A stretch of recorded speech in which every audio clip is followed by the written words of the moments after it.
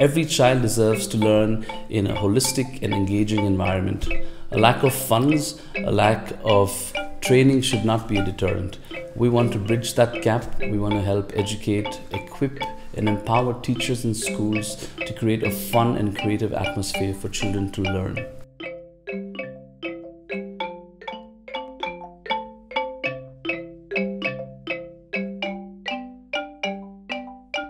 I'm from the music education department. So this approach is something that will be very, very relevant, for, especially in the Indian context. I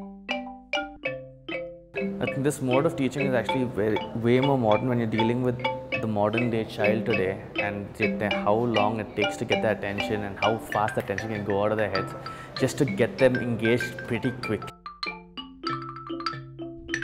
There's no dimension or there's no definition that this is how music should be taught. Here we don't have a category where people who are interested in music will participate. If you have a class of 30, all 30 would participate. That's the Orff approach. For me, for the last two days, I was a student, not a principal, not a teacher. I'm a learner. And some of the instrument is something newly, like so it's the first time I'm using some of this. Some of the instrument name also I don't know, but it's something new uh, made me to, even I can play some music when I don't have much knowledge. So I'm thoroughly enjoyed for the last two days.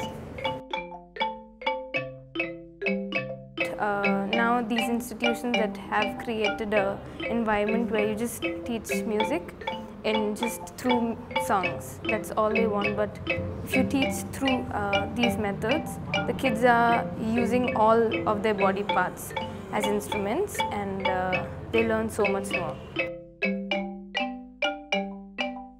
Everyone will get an opportunity like how we teachers got an opportunity to, to play and learn. So same thing even the students will get the opportunity.